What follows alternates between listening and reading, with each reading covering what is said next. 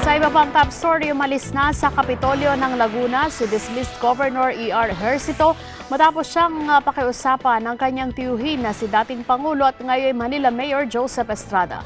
Ayon kay Mayor Erap, kailangang bumaba si E.R. alang-alang sa kapayapaan ng Laguna. Nangako naman si Acting Governor Ramil Hernandez na magpapa- ipagpapatuloy pa rin ang mga programang ipinatutupad ng dinisqualify na gobernador. Si Erwin Dembarante sa detalye.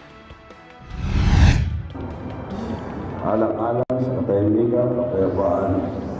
Pansamantalang kinakausap ko at palagi kong papayag naman na sasama na sa akin pag-uwi at antayin na lang ang desisyon ng Korte Suprema at kung ano man ang desisyon ay antayin na lang natin.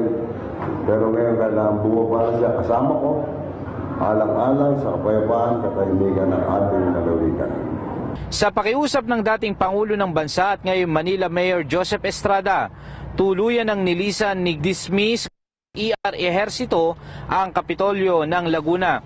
Ito ay matapos siyang patalsikin ng Comelec sa kanyang pwesto sa kasong overspending ng nakaraang eleksyon.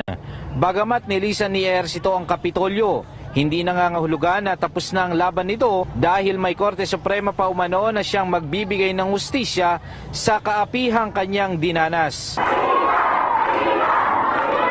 Mga kababayan, huwag po kayong mag-alala. Patuloy po ang ating pakikipaglaban sa pinakamataas na hukuman, Korte Suprema, para makakuha po tayo ng status quo and bank. Tuloy po ang laban! Kapansin-pansin na wala na ang mga gamit ng dating gobernador sa loob ng kanyang tanggapan. Sa impormasyon na aming nakuha, matapos matanggap ang kopya ng writ of execution noong Miyerkules, isa-isa nang ibinaba ang mga gamit ni Ersito. At kanina, matapos ang talumpati sa harap ng kanyang mga taga-suporta, ay sabay-sabay nang bumaba sa ikalawang palapag ng Kapitolyo si ER, kasama ang may bahay nitong si Mayor Maita Ejercito, kasama ang mga kaanak niya, kaya naman hindi maiwasan ng ilang mga supporters ni ER na maiyak sa naging hakbang nito.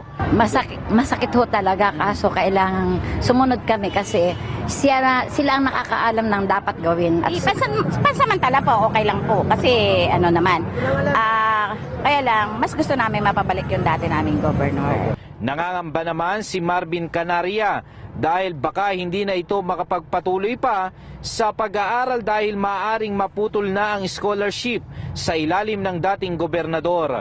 Siyempre, gusto ko pa magpatuloy po yung scholarship na sinimulan kasi dito, ito po yung parang tulay para po maabot po yung mga pangarap ko. Kung mawawala naman po yung, yung scholarship, siyempre, la- labis po ang aking pagkalungkot pangambak. Pero maagap ang naging tugon ng acting gobernador na si Ramil Hernandez.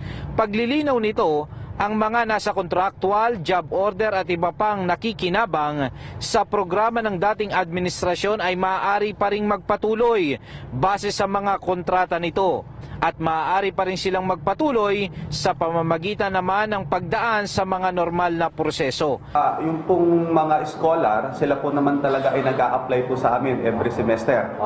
Ngayon po, yung pong mga dating mga nabigyan na, pwede po kayong mag-apply po uli. Normal process po.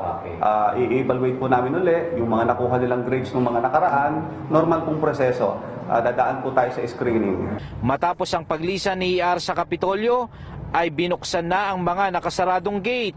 Ang mga malalaking sasakyan ay inalis na rin, kasama ang mga naglalakihang tarpaulin ni Ehersito. Matapos nito, formal nang lilipat sa Kapitolyo si Acting Governor Ramil Hernandez na kasalukuyang nag-oopisina sa isang gusali sa Sports Complex sa Laguna. Erwin Temperante, Eagle News.